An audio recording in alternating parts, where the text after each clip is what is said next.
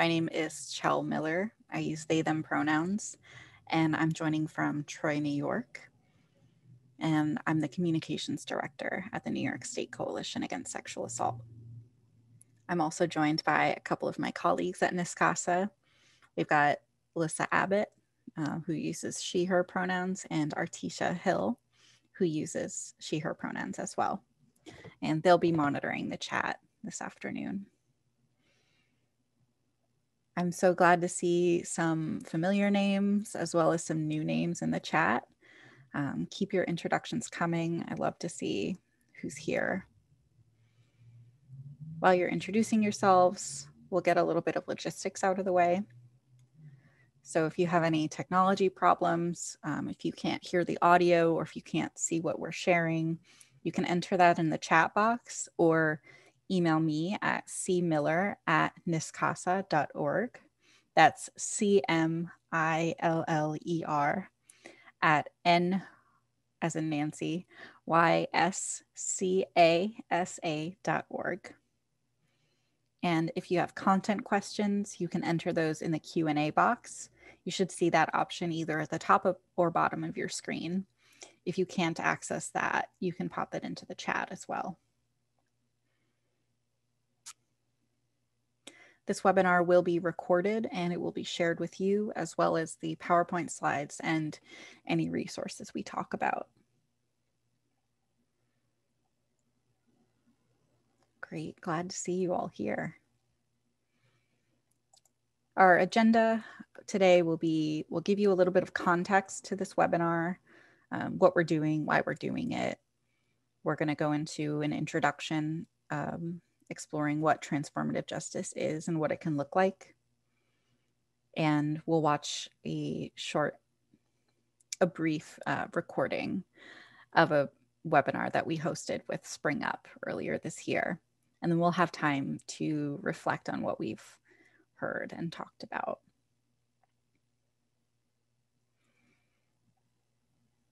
So, with that said, we're just going to dive right in. The context for this webinar is um, it's part of our Ending Violence Without Violence webinar and virtual training series. The series introduces participants to the core principles of restorative justice, transformative justice, community accountability, and other non-carceral approaches to violence prevention and response. In other words, approaches that don't rely on the criminal legal system. The webinar series underscores the importance of building communities that can prevent sexual violence, respond to harm, and heal trauma. We've got resources and recordings on a website we've created. That's www.endviolence2020.com, which I'm going to put in the chat too.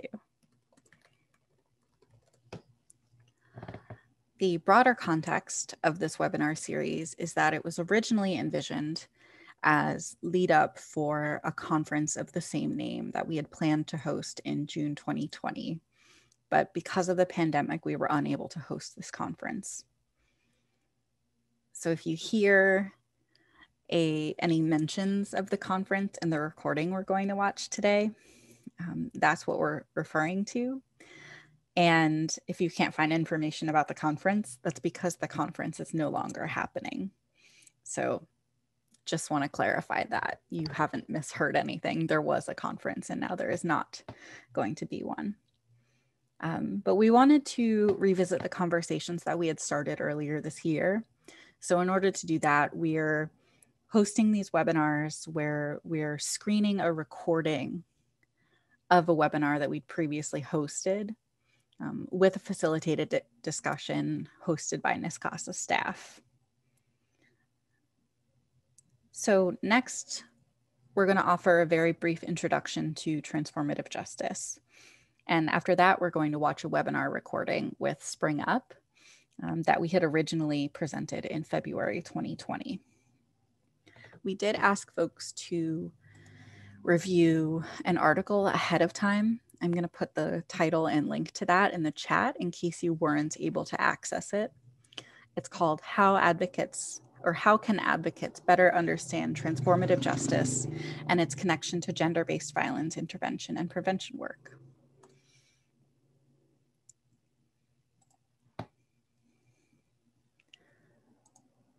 And with that said, we're going to talk about transformative justice, particularly as defined by Mia Mingus in her blog, leavingevidence.wordpress.com. Transformative justice, according to Mia, is a political framework and approach for responding to violence, harm, and abuse. It seeks to respond to violence without creating more violence and or engaging in harm reduction to lessen violence. It acknowledges that systems like prisons, police, and ICE are sites where violence takes place, and that these systems were created to be inherently violent in order to maintain social control.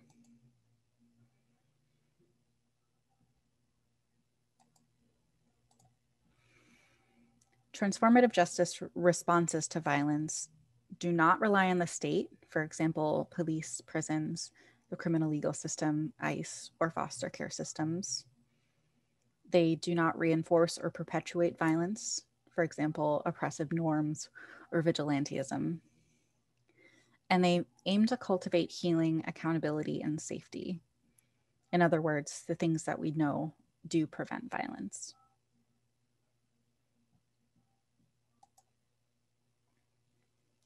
It's important to note that transformative justice as a framework was created by and for communities who historically choose to or cannot safely engage with the state. For example, Black communities, Indigenous communities, immigrant communities of color, poor and low income communities, people with disabilities, sex workers, and queer and trans communities. Transformative justice also acknowledges that violence does not occur in a vacuum. Therefore, we must work to end the conditions that foster violence. For example, capitalism, white supremacy, poverty, trauma, war, mass incarceration, displacement, ableism, and sexism.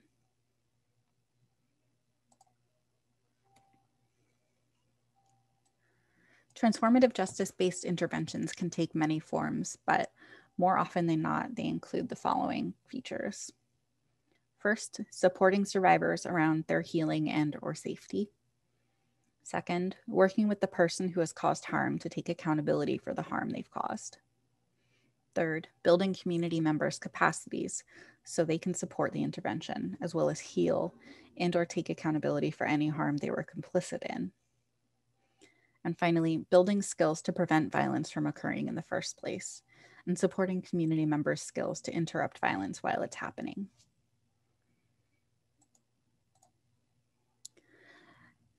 We'll share this after the webinar, but there are a series of examples and case studies that Mia link, links to in this blog post. Um, some audio about community responses to domestic violence, there's a film, Hollow Water, that explores community based responses to violence, and a series of other links here too in the PowerPoint. So with that said, um, and if you have questions, please post them in the Q&A box and we'll get to them at the end. With that said, we're going to watch the recording of the webinar that we had hosted in February with Spring Up. So just give me one moment and I'll get that recording going.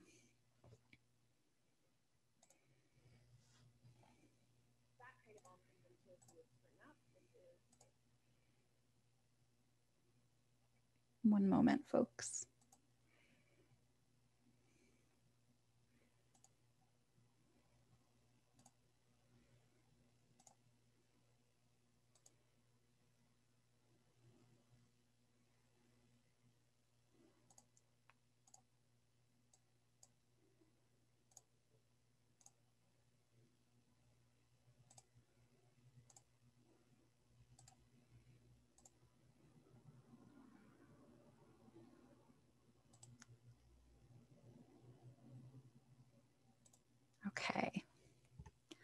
So you should be seeing, for those of you who are joining um, via computer, um, those of you who are joining just by audio, you won't be able to see this.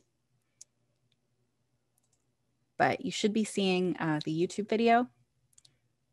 Can we have some confirmation in the chat that you see that?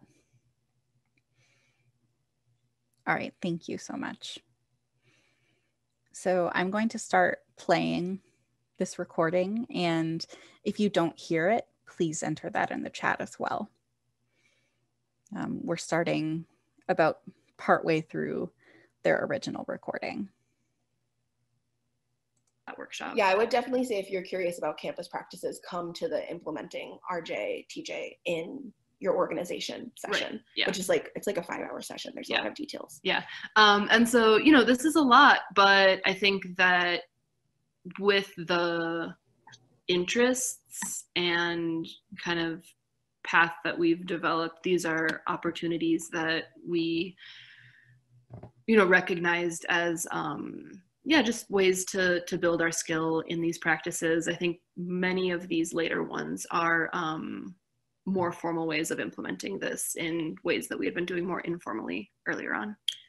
Yeah, so um, that kind of all comes into Who is Spring Up. This is a photo of some of our fellows from our uh, fellowship that we were just talking about. Um, but we do consent, gender, and power education. Uh, we facilitate and train around transformative justice for gender based violence. We do diversity, equity, and inclusion consulting and coaching for organizations and individuals. Um, we hold healing spaces and uh, try to integrate disability justice into everything that we do, including our training we practice popular education and participatory action research. We're very focused on evaluation and growth. Um, and we're storytellers and fiction writers. And so that's just kind of what we do at Spring Up. It can be hard to describe for people who don't kind of understand these topics, but hopefully hearing more about our story, you can see what this work means to us. Mm-hmm. And so our mission is um, cultivating a culture of consent and liberty for all. And that's kind of the through line in all of these topics. Um, so then we wanted to, we're a bit behind schedule, so I want to keep things moving quickly. Um, but we wanted to talk a little bit more about what references we're making in our work. Um, and Mariame and um, Sujatha and Mimi and a lot of the folks that you all have been hearing from are some of the folks that we look up to, um, learn from, whether it's their resources or them individually. And so um, Mia Mingus from the Bay Area Transformative Justice Collective uh, said this, and I think that it's a really good articulation of some of what we've been talking about. It's important to remember that many of these people and communities have been practicing TJ in big and small ways for generations, trying to create safety and reduce harm within the dangerous conditions they were and are forced to live in. For example, undocumented immigrant women in domestic violence relationships, disabled people who are being abused by their caretakers and attendants, sex workers who experience sexual assault or abuse, or poor children and youth of color who are surviving child sexual abuse have long been devising ways to reduce harm, stay alive, and create safety and healing outside of state systems, whether or not these practices have been explicitly named as transformative justice. Mm-hmm. I see um, we, we missed a question. Yeah, and so if um, if any of you would like to um, volunteer in the chat ways that you believe that you've been um, cultivating your roots of transformative justice or doing things to um, alleviate conditions of harm, um, definitely would love to hear about that. Um, and do you have time? Should we check? yeah, it depends on what the topic is. Yeah. Chelsea, can you tell us what the question is? Yeah, so it's less of a question and more of a comment. So we could address it um, very quickly, and I feel comfortable doing so. Um, so the comment is more of abolitionism to the speaker, who is a white woman, resonates as a cause related to the end of slavery and the campaign to gain the right to vote. Um, and it didn't occur to them that we were referring to issues of mass incarceration. The reason that we're using that language is it's a it's intentional. It's it's using the same language as anti-slavery or slavery abolition. Um, so yeah, those are deeply connected.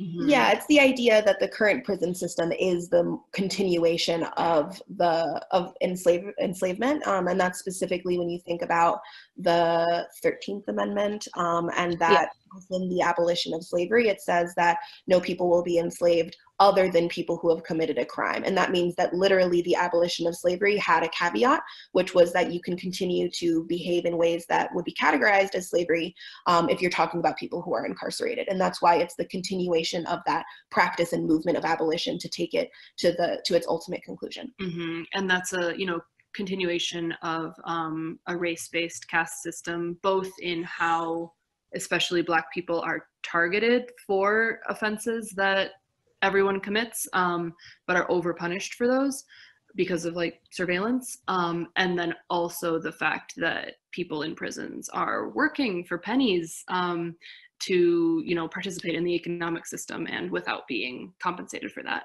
Exactly. Yeah. So yeah i'm glad you you highlighted that because it is intentionally the same language.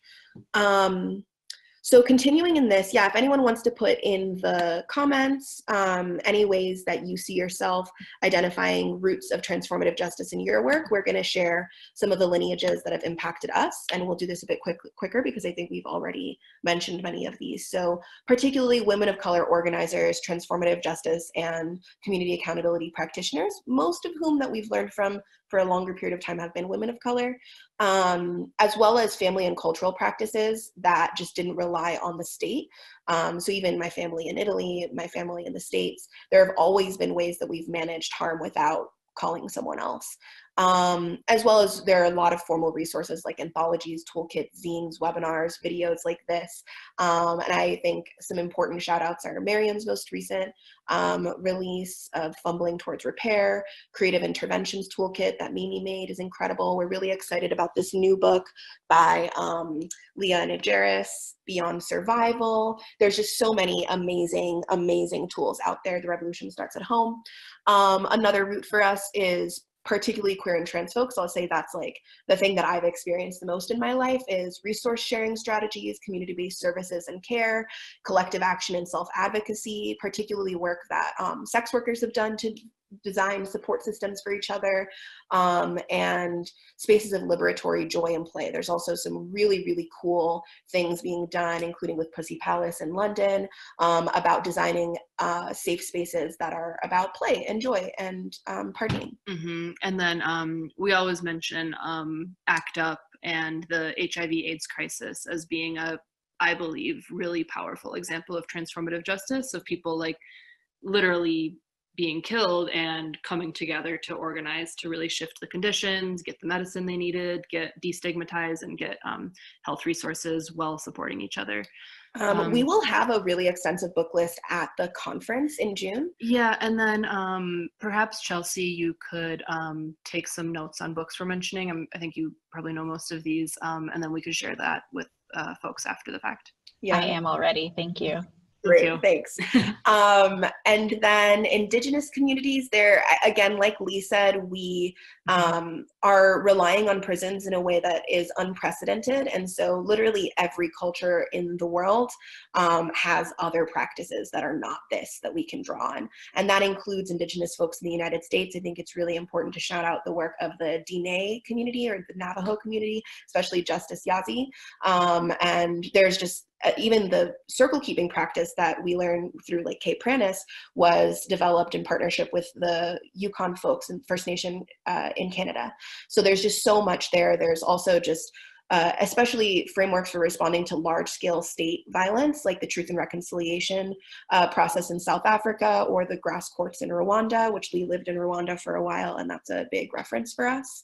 Um, we talked about intentional communities, including faith-based communities. Mm-hmm. Um, yeah, and you know, whenever you're creating an organization or especially a living community that is um, not that is intentionally having different norms than are expected um, in mainstream society, you need to really be intentional and mindful about the agreements you're having, the vision of the community, what standards of behavior how are you going to address things in the community? Um, and that draws on a lot including um, you know thousands of years of monasteries and faith-based communities. There's this really really theoretical technical book um, called tools for peace that was really influential So to us earlier on. It's by a um, Andrew. a monk in the order of uh, Saint Benedict, and he just was reflecting on um, living in a monastery, um, and it was it's really interesting. Yeah, so that's another reference. Restorative justice, as we've mentioned, peacekeeping circles, the RCC model from New Zealand,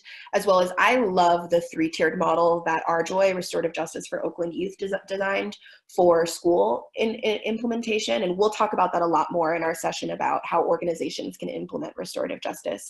Um, but you can look that up. There's a bunch about it online. And then abolitionist organizing and harm reduction around the prison industrial complex.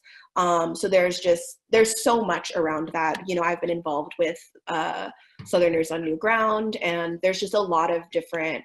Um, the Sylvia Rivera Project has some really great resources. Just how can we support folks who have been impacted by the violence of this system Mhm. as we're doing this work? Yeah, and then um, you know a decent number of the tools and frameworks that we use um, or draw on actually do come from sociology, psychology, mindfulness, um, and we list all of these because often, um, especially white folks who are wanting to do work like this, um, have this immediate concern of like, I'm appropriating, I'm taking indigenous practices, this is not ethical. Um, and you know definitely listen to those instincts right? I think if you are co-opting people's practices in a way that doesn't feel authentic to you listen to that right but there are so many ways of addressing harm and violence that might feel more authentic to you um, that you can draw on. And so i know we're like just dropping a lot of references but any of these things are joy. You know you can google you can look up um, and there are so many resources that um, that you can educate yourself further in And luckily, because this is recorded, you can always come back. I Yeah. know we speak quickly, but you can pause between we when we name the different things, or maybe Chelsea will be able to type it up. But we don't have a ton of time, so we're just trying to throw as many out there as feel relevant. Um, so then we just wanted to share a little bit more about how we choose what we work on. Um, so we particularly focus on transformative justice organizing. So it means using storytelling, popular education, organizing, as well as designing alternatives and solutions to cultivate cultural norms that are more conducive to transformative justice, restorative justice, community accountability, and gender equity. While we do manage some cases, which I'll talk about a little bit lower, um, a lot of our work now is more around education, storytelling, and just shifting those foundational norms so that we have less cases to manage and that we can coach and support other folks who are facilitating cases um, while we can focus on things that have uh, really large scale impacts. Um, so, like I said, we also facilitate cases and offer support or coaching to other. Uh, other facilitators. Um, a big focus for that is kind of the difference between crime and harm. Right. And I think this is important to say when we're saying strategies that don't involve the police. People are like, somebody's going to kill someone and you're not going to call the police. You know, um, I think it's really important that a lot of harm, especially gender based violence and sexual harm, we know that the criminal legal system does not respond well at all to gender based violence, um, especially, you know, domestic violence, especially in queer and trans contexts. Right. So Um, much is not reported, and if it is right. reported, it's often mismanaged. yeah and you can see cases that are like seem very strong that don't meet certain levels um, of proof and so sometimes people file civil cases instead of criminal cases um, that's one way that um, people who don't meet some of those burdens um, try to access resources but also um, a lot of people just wish that people cared what happened to them and were willing to support them and um, there are a lot of community-based things that we can do to shift the norms around um, abusive relationships around um, intimate partner violence and um,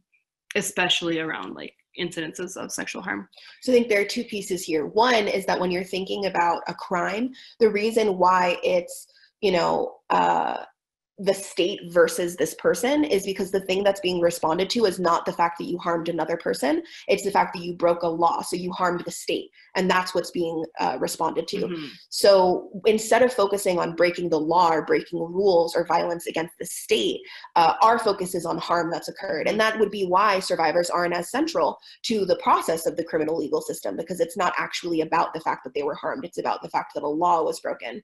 Um, and so by centering harm and centering the experience experiences of survivors, that's one of the major ways that we are different from the way that the legal system operates. Right. The second thing is that we focus on bridging the gap in response. So, most likely, was saying most sexual and gender based violence does not make it through formal processes or meet legal definitions and standards, but is still harmful. That is what we get involved in. And so, there are different types of practitioners who get involved in different things. We don't actually involve ourselves in any case that has any uh, you know touch point with the state. There are ways that we've been brought in by restorative justice programs to support and facilitation of a diverted case. That's a different thing. But the majority of what we do as an organization is things that don't involve the police at all and usually cases that no one would involve the police either because they just really don't believe it or because it's not technically illegal. It's just harmful. And so even our documentation and things couldn't be used in a legal case because it's not technically illegal. Hmm um, so when we are managing those cases, what are we doing? We uh, it's really important to be aware of the cultural, societal, and historical power dynamics at play. So we try to work with communities that we identify with, that we know, um, and then we do as much as we can to try to understand the history of that uh, family, that community, what kind of violence has happened in the past, and how might that be impacting the dynamics here? What are the values and cultural norms in this um, community? And then we try to meet the needs of survivors, provide perpetuators with, and I say that intentionally because everyone perpetuates systems of violence. So it's not that someone, it's like they're a perpetrator. It's just every one of us has been a perpetuator, but that's the role that they're playing. Um, perpetuators with opportunities to understand the impacts of their actions and make amends and support communities in learning from the harm and making future harm less likely to occur. So when we are managing cases, that's what it is that we're doing. hmm Okay, so now the the next bit of this, so we're significantly behind time, so we might go a qu- bit quickly on this, Mhm. and you can definitely screenshot um, if you want to. But so we break down uh, kind of the way that we set the expectations for the space, that there are values which are ideals we strive towards, but that it's kind of hard to make tangible or know exactly you're not being, you know, liberatory in the space. I'm not sure what that means. Um, and then community account uh, community agreements are formal practices or you know things that we can literally do that we can hold ourselves accountable to. So it can be clear cut: are you or aren't you doing this? Mhm. and we have that that div- that divide because values are really really important and shape the space but they're also very much up for interpretation and don't always become operationalized. And so the agreements are ways that we operationalize that, that. And when we hold a process we share these with folks and then they have the ability to identify which ones really relate to them and their work as well as add other ones um, that will guide the entire process that we work on with them. Hmm Yeah, and just what are we emphasizing in this presentation are um, two really huge pillars of transformative justice, which is storytelling and kind of locating the personal, um, and then also values. Like those are just um, really huge cornerstones of of transformative justice. um, so we're just going to dig in Yeah, and I think So- um, Oh, thanks. Yes. Sorry that you all have to leave, but you can definitely listen later. yeah. Um, So shall we read all of these, or I think maybe we, with time, perhaps we should just read the read titles. the titles and kind of explain it a little bit. Yeah, and you can see at least um, the definitions are this way because if I say transformation, you you know you might have a totally different interpretation of what that means, or the way in which I'm practicing transformation in my you know personal practices might be really different from um, an organization trying to transform their processes. And so having a definition that at least you can say, I don't agree with that sentence, or I think we should add something is really important to us to like make the values explicit. Yeah, so for transformation, one thing I want to say is that transformation is more than intention. It's strategy, planning, time, study, self reflection, a support system, and tools to implement new habits and beliefs. Um, so I think that's really important. It takes time to transform. Um, and then the two practices that we have are storytelling. We've talked a lot about that, and we hold a lot of spaces for storytelling, Mhm. um, Um, fictional and nonfiction. Yeah, and I do want to emphasize the one word where we say transformations catalyzed by storytelling are consensual, right? Like if I tell a story that causes you to have personal reflections, you are totally in control of what lessons you take from that and how you implement that in your life. I'm not telling you, I told you this story and so now you need to do this, although I might have like a request or a call to action, right? But I think that that's um, very important when we're thinking about behavioral change. um, yeah. And then reflection and evaluation is so important. It's it you have to have a culture of evaluation, not like one person on the team that does it. It's really like for us, it's a lifestyle of constantly iterating and growing and responding to feedback. And so you need to have time and thought and intention towards having space for reflection and evaluation. Um, the next value that we have is healing, and really important. Healing is a process, not a destination um, and it can't be bounded. So that's not like the outcome of a process, but it is something that's important to us. Um, and yeah, we talk a little bit more about the fact that in some spaces there's more of an emphasis on being able to identify kind of the ways that you've been harmed and less of an emphasis on how you're healing and, and working through your traumas. And that's really, really important, especially for facilitators as we're doing this work. Um, and then the two practices or agreements are care for yourself and your people. I heard first heard that from Mariame at one of her trainings, Mariame Kaba. Um, and just we don't enter spaces on our own. We always have people that we care for or who care for us. And as much as we we want to cultivate presence, we also want to take care of ourselves um, and the people that come with us. And also, I really want to shout out the book Care Work. Yeah, I don't think we have a copy of that right now, but, but it's by Leah Lakshmi Pienza Samarasinha? Yes, thank you. I, I, have a bit of a hard time saying her name, but it's a really, really, really powerful book, um, a, a, anthology all about the nature of care work. And she calls for a fair trade care economy where care is consensual, reciprocal, equitably distributed, and appropriately valued. Yeah. Um, and then accept incompletion, just like healing takes time and is not bounded and doesn't become complete. Most of our processes don't. Most of our meetings don't. And especially if we're going to embrace emergent strategy, we need to be okay with not getting through everything that we necessarily planned on. Um, and this idea of urgency and completion is really core to capitalism. Um, and, and providing services. And providing services, yes true um, and meeting reporting requirements. Um, so it's all about finding a sense of balance and trying to find a way to be present, um, still get things done, but not be so focused on completion and urgency. Okay, the next value is solidarity. Um, so people are experts in their own reality, so we work with directly impacted folks, and we also really partner with um, other organizations and people who have shared values. There's a lot of siloing and competition, and we feel really, really strongly that we need to work together and collaborate and support each other's work in order to do this um, effectively. And so the practices that go along with that are subjectivity and specificity. We're always telling folks not to generalize, use I statements, and try to share specific examples of things that you're talking about instead of saying, you know, people always do this or, you know, people feel this way. Try to share a specific example. And that really helps us kind of communicate across difference and locate where these opinions are coming from. The other one is shared labor. Uh, this is a long, these are long and messy processes, and often there are certain people who are expected to do more of the weight mm-hmm. of labor and that's often femme folks queer and trans folks people of color um, and so a way that we operationalize sur- this, survivors themselves yes. often um, because the survivor is really invested um, it, yeah it's definitely not not good when a survivor ends up doing like a disproportionate amount of the work um, survivor centered is not the same as survivor led um, and we're going to be talking a lot more about the roles in processes. How many people can have roles in supporting a process right. um, at the at the conference in the session on facilitating a process that will involve a role play too. So if you want like tangibly like how do I do that? Um, try to come to that session if you're able to come to the conference. And we keep really detailed timesheets. I was really irritated by this at the beginning because I thought of it as like a manager thing to like make sure you're getting your work done.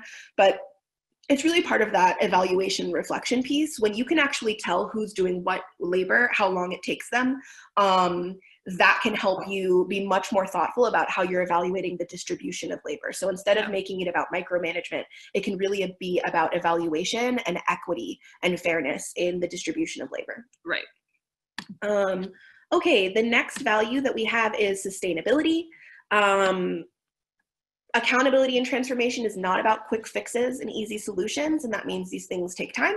Um, and we need to have uh, strategies that center long term sustainable changes that maintain after the intervention is over and that impact people broader than those directly involved in the process. And that can be challenging, but that's, I think, what makes it transformative as opposed to some of these other approaches. Um, and part of that is also finding a sense of balance where, as facilitators, as organizations, we want to do everything under the sun, and we need to find a way to sustain ourselves, take care of ourselves, and meet our needs. Um, whether that's figuring out ways to fund this work, having boundaries around what kinds of cases you take, accepting that things will take a long time to manage. Um, it's really important that we don't burn ourselves out because there's such an overwhelming amount of work to be done.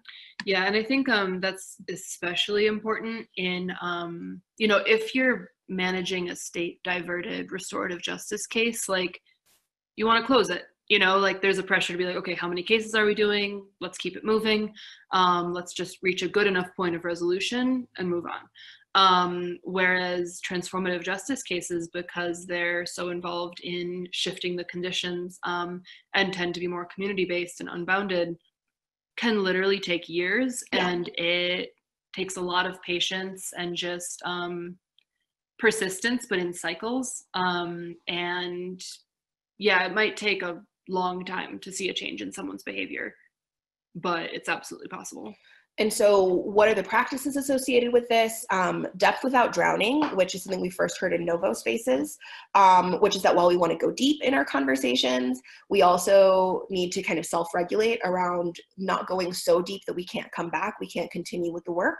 Um, and that part of when I say that, it kind of implies that you're expected to do that work on your own. Um, I think it has to be done in partnership with creating spaces that are intentionally for deep reflection, analysis, and cathartic feeling in community, um, and not you know expecting people to do that on their own time. So I think it's a both and situation.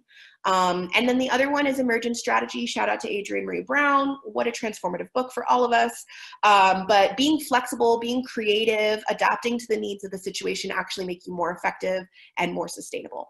Um, I noticed where Yeah. we missed something in the questions. Um, Oh, Novo is, uh, oh man, what is it? What does it stand for? What does it stand for? It's a it's a foundation. Um, particularly, I know their Move to End Violence um, fellowship, but they have a bunch of different fellowships. Uh, I'm not I'm not sure exactly what it Yeah. stands for. I think they mostly focus on gender based Yeah. violence. Um, I think it's in California. I don't Um, they, they they have some great trainings on Yes. um, racial equity. Um, And gender, yeah. yeah. I wanted to make a note. Um, if folks have um, questions, if you could send those to all panelists, um, then we can see that as well, and so we can kind of decide if we want to address that as we're moving or save that for a Q&A at the end. Mhm. Um, Chelsea, is there anything from the current questions that seems urgent? Um, nothing that seems urgent. I will save it for the Q and A. We So we'll- circle back. We'll circle back to that um, in the Q&A. Great. So the next one, this one's really close to my heart, um, is about being non-binary. Uh, and that's not just about gender, it's about a way of life, a way of looking at things that kind of deconstruct assumptions and binary thinking to embrace nuance, intersectionality, context, and uniqueness. And we will have a whole long session on this um, at the conference, which is really about rethinking our framing of gender-based violence beyond the binary. Um, we have just a ton of thoughts about this, but we wanted to share one tool which I think is featured in the Beyond Survival anthology and that we love. There's an Instagram called at Venn Diagrams, and it's all about identifying kind of the tensions of things that are both true and moving through the middle. You don't actually write anything in the middle, but it's about finding that you are in the middle. You're the thing that balances these two sides. So an example of this is there's a Venn diagram that on one side says, I expect people to respect my boundaries and needs. And on the other side, I want to be flexible and adapt to what people are able to do. And so it's not that one of those is more true than the other, it's that we want to hold both of those at the same time when we're figuring out our behavior. And so the practices that go along with that, one of those is something that I've already been saying. We say it all the time, which is both and, um, which is literally instead of either or or true false dichotomies, um, thinking about how multiple truths can be true at the same time. Um, and then the other one is take it or leave it. And this is something that Mariame is always saying, which is there's no right or wrong way of healing or doing this transformative work. Some may be more effective than others, depending on the situation and the person. And so, even from everything that we've been saying today, take what works for you, take what you want to try, and whatever you don't resonate with, you can leave it. That's totally fine. It's really up to you, um, your consent of what you want to implement. We're not trying to force any of these practices on you. hmm And there really are, and I don't think, you know, should be, um, you know, really standardized practices around a lot of this work. Um, a lot of it is based in your your intuition your understanding and perception of the situation um, your self-trust and i think that can induce a lot of anxiety for people of am i doing the right thing um, but that's why it's so important to do a lot of your personal work and reflection and mindfulness um, to be able to trust yourself or at least have people that you can talk to yeah. And it's really important to put in the study, right? Which is like you can tell throughout everything we've been doing, we're constantly reading books, we're constantly learning from different practitioners. That doesn't mean we're going to replicate exactly what they did, but it really is about study and learning um, in addition to your intuition and what you know. And it's it's it's a complicated thing to really articulate, but I think that it's really both of those things. And then finally, our last value is liberation. We genuinely believe that everyone can be and deserves to be free. That's very difficult because people have different uh, needs and desires, and knowing how to navigate different people's, uh, you know, beliefs can be really challenging. And that's where these two practices that I would say are the bread and butter. I don't. I feel like I don't even eat bread and butter that much. I don't. I don't know the the vegetables and oil i don't know of our work uh, one of those is accountability i really love uh, connie burk in the essay think rethink from the revolution starts at home um, talks about how accountability is an internal skill and often we talk about holding other people accountable instead of learning the skill of knowing how to hold ourselves accountable and that's really really mm-hmm. important mm. i think that might actually be from trauma stewardship which is another one we should no, no, that that oh, that okay, quote yeah. is from yeah. is from Think Rethink. Yeah. Um, and so we believe mistakes are teachers. Uh, it's important. Another important thing about accountability is it's important to be explicit about the norms and mechanisms in place to name and report harm. Like, do we call each other in one on one? Is it possible for us to do it in the group? What does that look like? Um, can we call in a third party? Who is that third party? Is there an anonymous reporting mechanism? All of those things are really important when you're asking folks to know how to engage mm-hmm. those practices. Yeah, because especially if someone's in a trauma mindset and there's a high degree of uncertainty over what will happen if they report, if they ask for help, if they bring it up, that's an incentive to keep it to yourself and not seek help.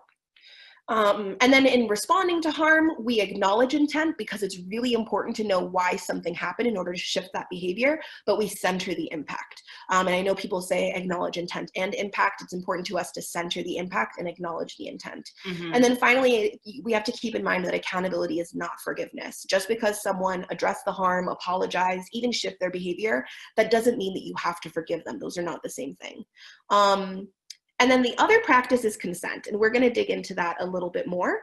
We don't have a ton of time, um, but hopefully this is somewhat familiar to yes. this, to this audience. So when we talk about consent uh, in this sort of work it's that all of our work whether it's as the facilitator the participants our partners all of our work must be voluntary informed and conscious choices that are reversible um, and then we're going to talk a little bit more about coercion, but we map the power dynamics, and we have a really great power mapping tool that we'll present um, in one of our sessions at the NYSCASA conference. I'm not sure exactly which one.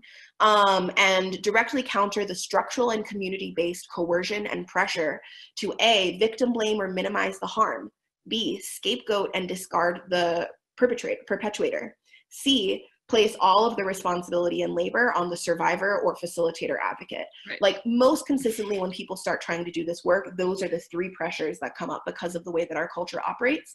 And so when we think about consent, we also think about how we're going to intentionally mitigate those pressures in our processes. Um, this is just the image that we usually use when we're doing trainings around consent. We have it on our Instagram. It's something you can use. Um, one really important thing about this is that we don't necessarily believe that consent needs to be enthusiastic. People communicate in very different ways, and especially if you're trying something that you've never done before, like a transformative justice process, you might not be enthusiastic about it. Um, you might just be like okay about it, and that means that it requires more check-ins, more conversation about how it's going. But people aren't always enthusiastic enthusiastic, including people that I know who their most enthusiastic response is like, yeah, that's great. And so I think that that kind of prioritizes certain types of communication over others and knowing what you want before you're in it. And if you perform enthusiasm with something that you've never done before mm-hmm. and then realize that you're not into it, it can actually be more difficult to articulate that you're not enjoying it because of the level of enthusiasm you communicated at the beginning. Um, so that's one way that we deviate. The other thing is when we're talking about coercion, it's important to name what that is. So getting someone to do something that they otherwise would not have chosen to do, either because of pressure, abuse of power, which is where it's really important to map the power dynamics, use of force, or um, just unrelated incentives. Um, and we can talk about this a lot more another time. hmm And that's the framework through which we understand most um, gender based violence and most um, domestic violence or sexual harm. Um, we really view it through the lens of coercion. Um, you know, how, how intense what were the dynamics and how what were those dynamics leveraged um, and people have natural responses to being coerced um, or to being pressured or you know harmed. Um, these are natural biological responses rooted in the nervous system's instinctual self-defense. The ones that we usually hear about are fight flight and freeze but it's really important to also name accommodate. Um, and many of us who were socialized either as female um, or who you know maybe were socialized that we need to perform what people with power tell us in order to be safe, uh, you won't actually get those responses. You'll get someone to just accommodate to what you want because of the extremeness of the power dynamics. And, or even maybe you begin with fight, flight, or freeze, and then it shifts to accommodate as the way to maintain yourself in that environment. And that's often a, a misconception when people are working with survivors, or especially people who are in ongoing relationships with folks who have been harming them. Yeah. Okay. Oh, and um, I think Peter Levine um, and his kind of he has you know some resources that are specifically very survivor centered. Um, we attended an amazing workshop that really helped um, us and a lot of people with him, um, and he does some like retraining exercises um, for your nervous system, and um, that that's a resource that could be good to check out if you're curious about that. Yeah, and then when we're talking about this, it's really important to keep in mind what do we mean by power. Um, and so we'll do that quickly. Uh, I wonder if anyone can type into the chat who has power in your life. Um, answers we usually get are my parents because we work with young people, and then when we work with adults, we get my kids, which Yeah. is interesting. Um, we'll get my boss, my landlord, the police, the judge, God um, lots of the US government, my mom, my boss. Yeah, thank you, Christina, for putting that in the chat. Um, and so it's important to name who has power first in order to identify what is power.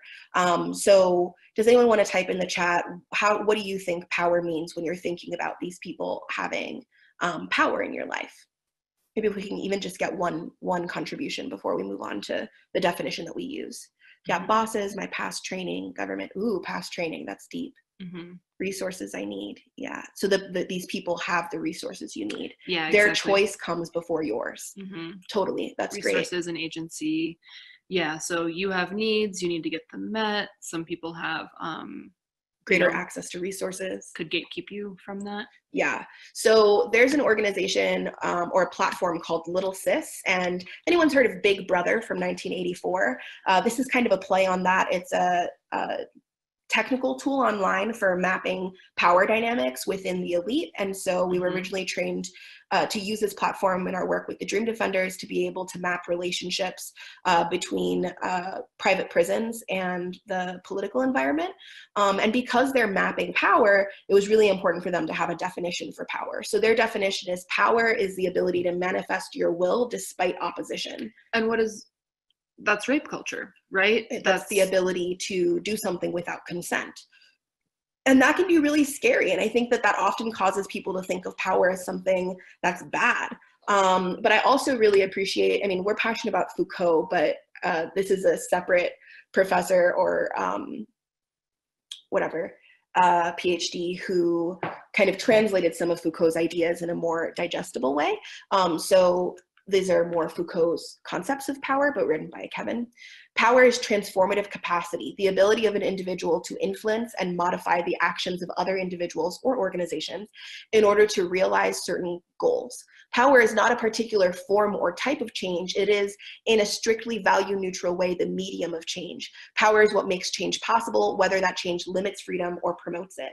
Um, and so, as organizers, we're often talking about building power, uh, building people power, power in numbers, um, just other ways that are not necessarily about having power over someone, but cultivating that transformative capacity. hmm Yeah, and and this always makes me think of um, our our friend who we used to work more closely with with the Dream Defenders, Phil um, Phil Agnew, um, has this really powerful chant that he does with people. That's power, transformation, miracles, and um, I think it's like interesting how when you add those things, like this understanding of power, when you leverage transformation um, through whatever medium, um, things that you didn't think were possible become And it's like possible. like the concept of abolition that we were talking about earlier. There were a Yeah. lot of people who didn't want that to change, and yet it was the power of well, but there's a whole historical argument about why that happened. But um, it took power to make something happen despite opposition, um, and so it's not inherently a bad thing. And so it's really important for folks to reconnect with their sense of power.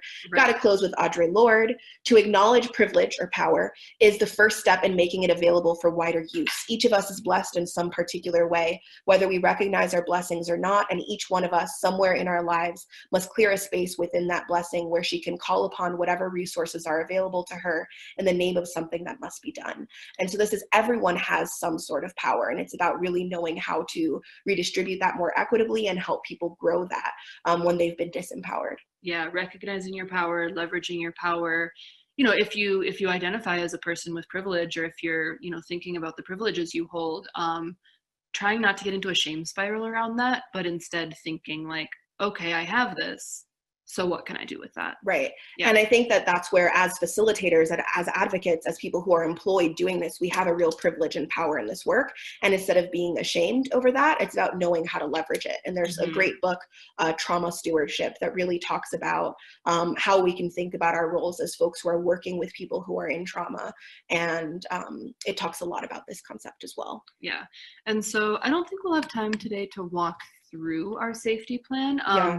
but just to kind of close with this whenever we start working with someone um, either who has experienced or perpetuated harm Or training facilitators. yeah we start with a safety plan um, if basic needs are not met people cannot focus on the process um, and everyone should fill it out um, especially if you're you know for a for a perpetuator being in a state of crisis or not having basic needs met is a huge bo- roadblock to taking accountability because you don't feel like you're okay. And so you don't feel like you can take those steps to um, be vulnerable maybe put yourself at risk um, that is necessary to go through an accountability process And as a facilitator, or even folks who are in support roles in a process, it's really important to be able to um, map your boundaries. And there's a big boundary mapping activity, which is what am I willing to offer? What am I not willing to offer? And what am I conditionally willing to offer or share?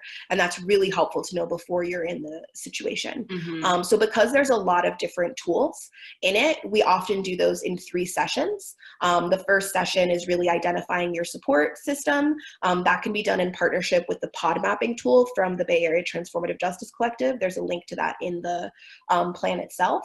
Um, and we always try to end the session on a high note, so it ends with identifying affirmations for yourself. Um, the second session is usually about identifying patterns in your body of what signs do you have in your body when you're feeling overwhelmed or burnt out or anxious and then what practices will you put in place to address that and then um, sometimes that'll be done with habit tracking tools to be able to integrate those proactively not just in response to Mhm. being activated or triggered Yeah, and I think a big challenge that folks who are trying to practice transformative justice, especially outside of an organization or institution with resources, is just like people are struggling. People need help. People need resources. People need healthcare, right? And um, you can't, as an individual, provide that to them. And so, some of the um, what we encourage people to do is to come up with a resource sh- sheet um, locally, and so that could include a community center organizations, hotlines, um, different medical facilities, shelters, um, different practitioners, especially ones who will take certain types of cases um, at a pro bono or low cost rate, um, and hopefully people who you know have a good reputation um, in being values aligned, and ideally who you've kind of had some relationship with um, of them knowing that you might be sending them people. And the last thing is that this is a living document that changes over time. So this is something you should check in on regularly and be able to adapt and evolve as things go on, either Mhm. in your life or in the process. Yeah. Um, so we try to do it quarterly. We're not always as on top of it as we should be, but that's kind of the goal, at least in our retreats. So, in closing, what we covered in this conversation was our story, some of our core values and practices in doing transformative justice around gender based violence, some about safety planning, and what we're going to be doing at the NYSCASA conference in June is a panel with, uh, we're going to be interviewing folks from INCITE, which I'm so excited about. Um, and then we're doing three pretty long sessions, um, almost day long sessions, one on gender-based violence beyond the binary, rethinking our framing of gender-based violence. Another one on implementing transformative justice in your organization, and I'll say that also applies to implementing it in your university, and facilitating transformative justice accountability processes, including a role play Mhm. for practice. Yeah, and then um, I think we'll go into a little bit of Q and A. We can stay over a little bit, but this is going to be pretty much the end of the the content content. Um, but if you're wondering how can I access some of your resources, um, I just want to put out a couple things. Chelsea posted a link to our website where on the front page you can download a um, or access a copy of the safety plan and maybe after like during the q&a we can pull that up and just kind of show people that. Um, but that's an example of the safety plan that we use um, adapted from social work. And then um, we also have a um, cultivate consent workbook that um, people like to use in yeah it has a lot of these tools and um, is I, I love it. Um, and so you can get that on our website or um, we only Those only come in packs of five because we want people to actually do it with other people in their communities. So it shifts the culture, not just the individual. But if you only want one copy, yeah then you can um, become a subscriber to our patreon community um, and you can do that as low as one dollar a month just to get access to resources we have a transformative justice toolkit. We do monthly webinars and q and a's um, for that community um, and share resources. And if you subscribe i think at five dollars a month we'll send you zines as we come up with them.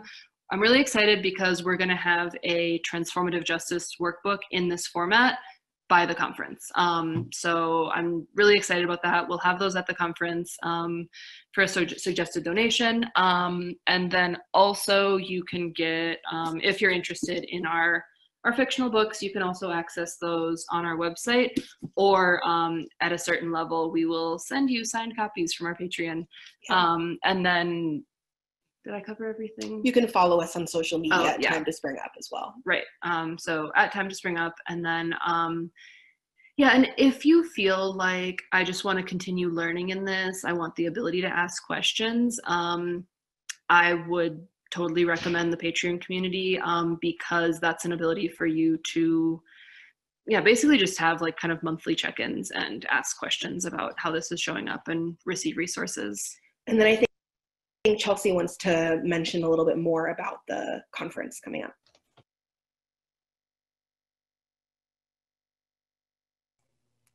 Okay. Give me one second to get my PowerPoint back up. Thank you all so much for your patience.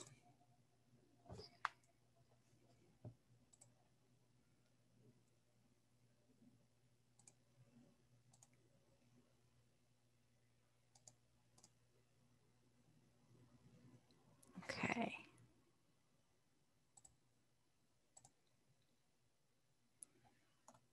So one thing I'd like to do um, before we move to Q and A, um, and if you have uh, questions that have come up for you, please feel free to stick them in the Q and A box. Um, I was able to actually acquire a copy of Spring Up's Transformative Justice Workbook.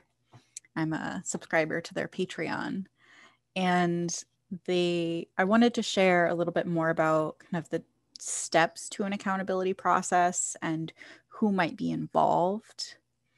Um, so, the first thing you would do is really get to know the situation and identify, you know, is a transformative justice informed process even appropriate? Um, is an accountability process appropriate? Are circle processes appropriate? Or is it more important or appropriate to call law, law enforcement? And that'll really depend on the situation. Um, so the people involved here at this stage, um, you know, at the center is the person who has been harmed.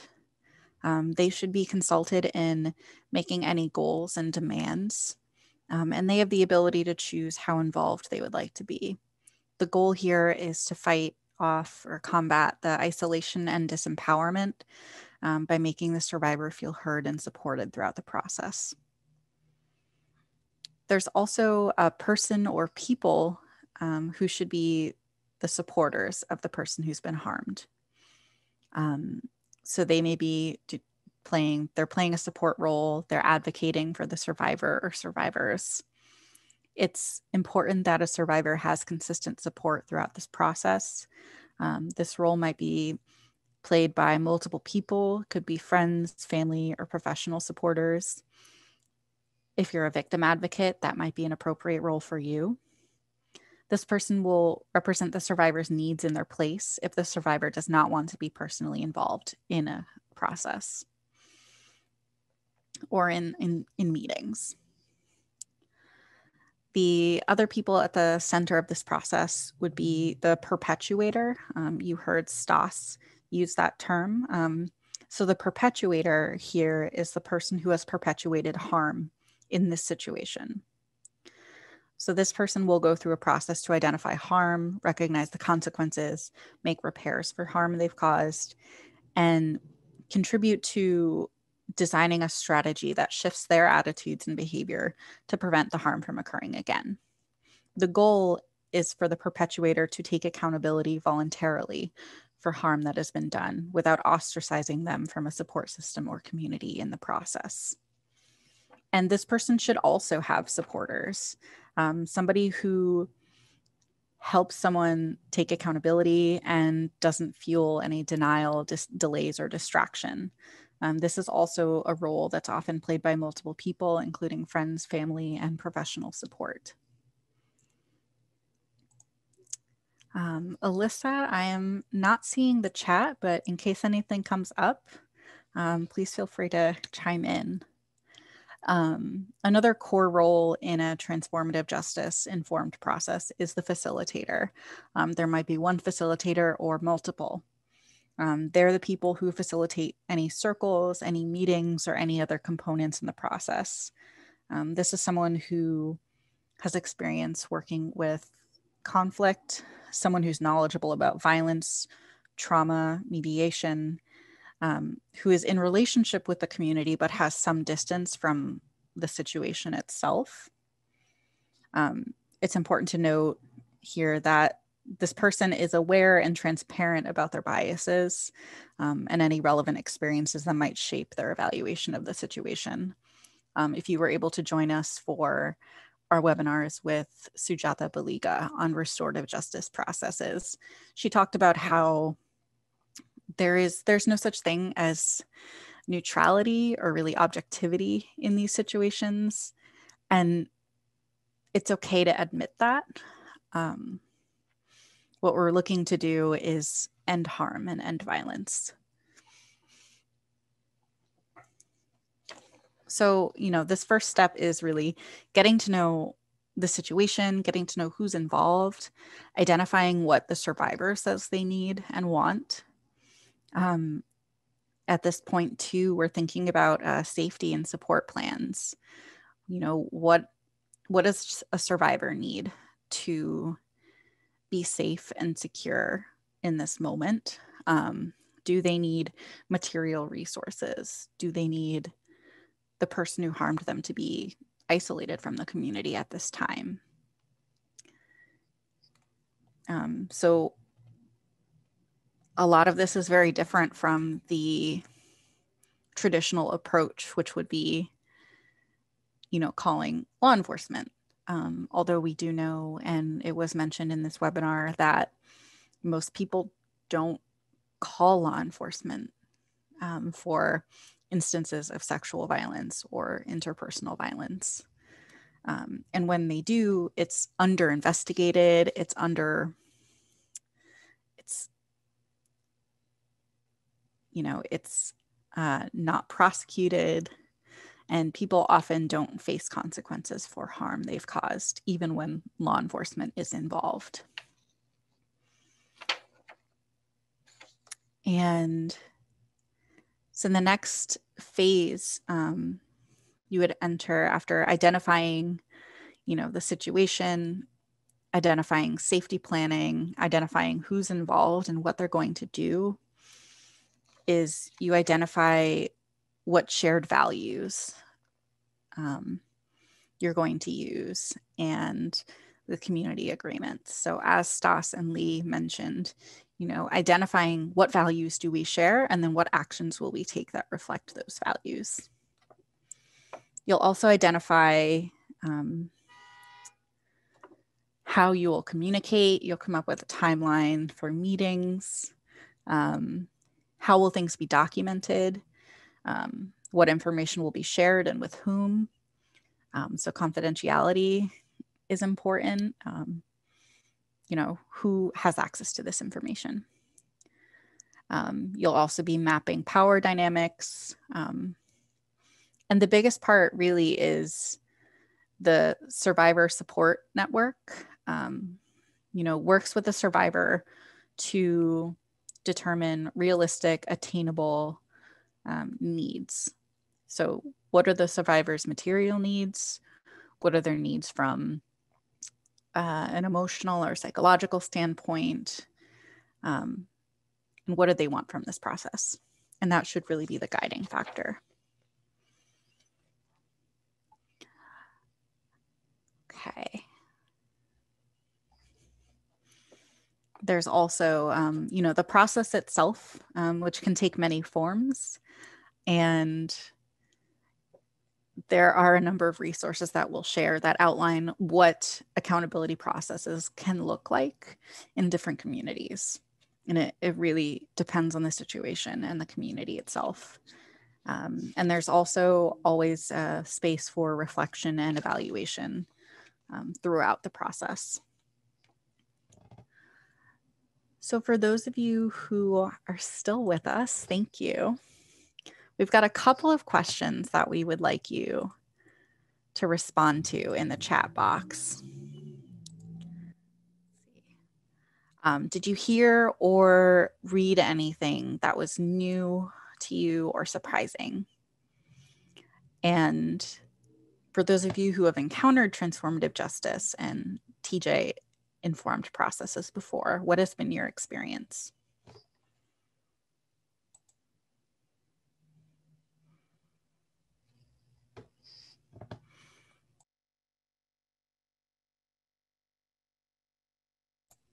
Great. I see.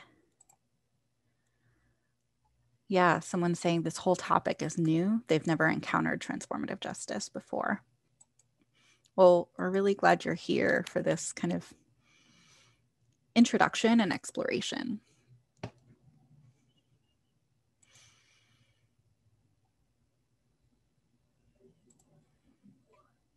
Yeah, anyone else? Um, feel free to pop it into the chat.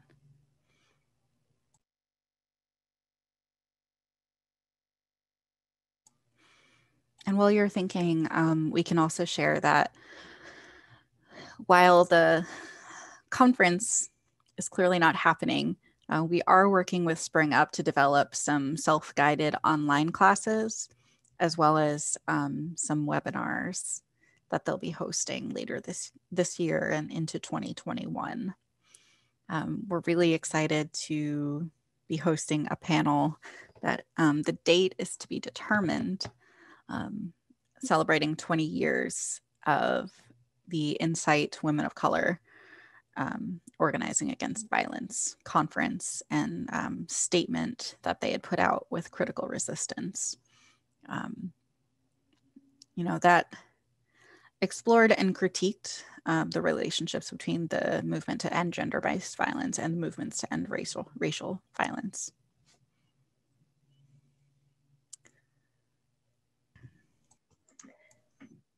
We had someone pop in the chat. The consideration for safety planning for facilitators is very interesting. They think that if we step into these roles and the thought of acceptance of some harm in the place of another, and they love how there there are some great things to help move me into another important way to view the work of transformative justice that includes safety for everyone harm consideration should be for everyone. Absolutely.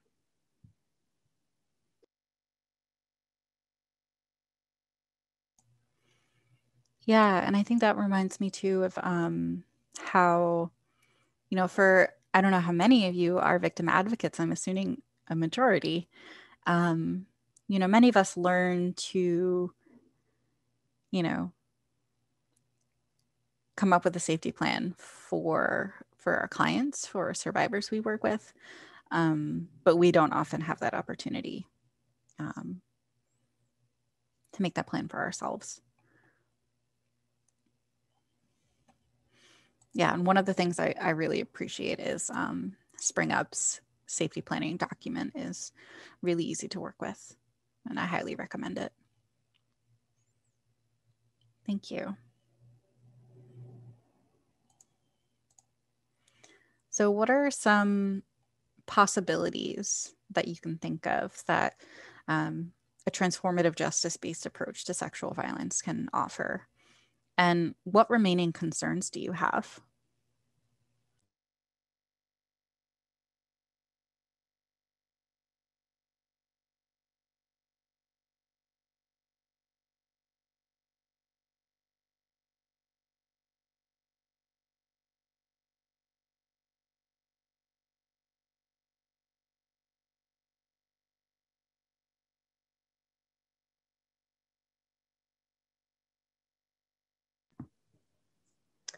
Gina has also said that um, they work with the Native communities who have varied views and experiences of peacekeeping responses to violent harm.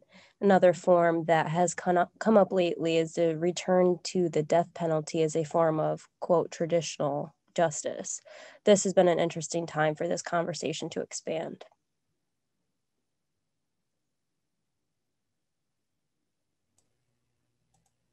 Thank you. That's really interesting.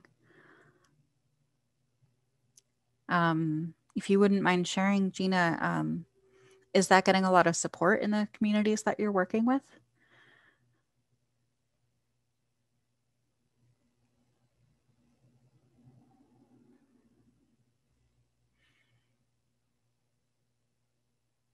And yeah, that's also, you know, bringing me back to, you know, some of the features of transformative justice that we're talking about. Um, you know, that doesn't reinforce or perpetuate violence. Um, you know, some community based responses to violence could just be, you know, bringing out a bat, taking a bat to your rapist. Um, you know, that might be a community based response, but that's not necessarily, um, you know, transformative. Um, it is something that perpetuates violence. Um,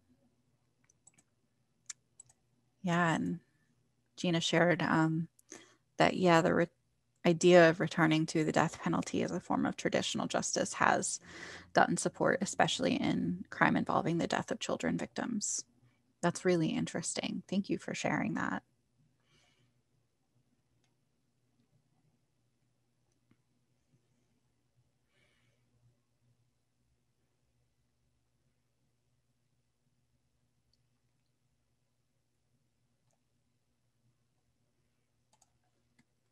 So we've got some time here, you know, for questions, um, additional discussion. Um, we're here till till 4:30. Um, we do have a couple webinars coming up, um, which if I can get the chat back together, I will post those for you. See.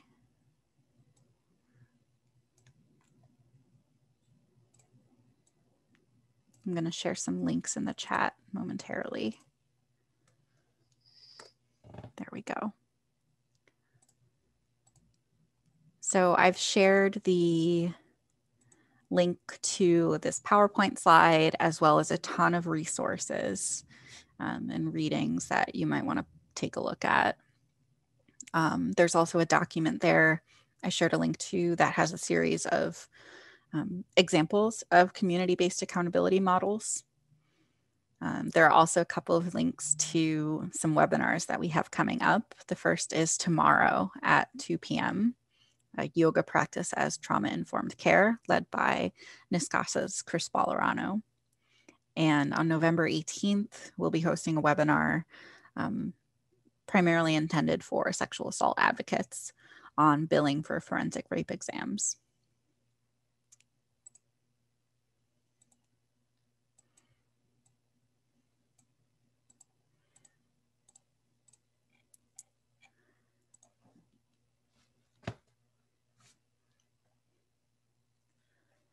So thank you all for joining us.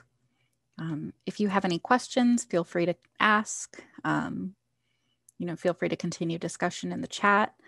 Um, but that's all we have for content. Thank you so much for spending time with us.